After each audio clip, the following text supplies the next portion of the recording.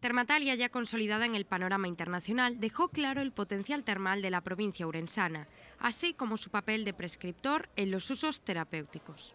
Hoy clausura no sin antes nombrar el destino en el que se celebrará el año que viene, y será Entre Ríos, en Argentina.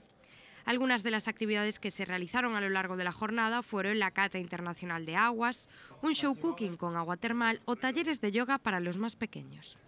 Eh, participan muchas más eh, aguas portuguesas, por ejemplo.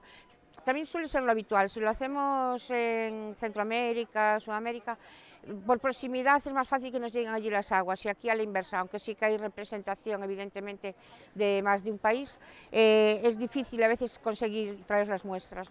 Hay una treintena de, aguas compitiendo en la clasificación de mineralización muy débil, media, eh, y después con gas, y con gas natural y con gas añadido. Nuestro compañero Francisco Gil estuvo presente y participando en la cata de aguas.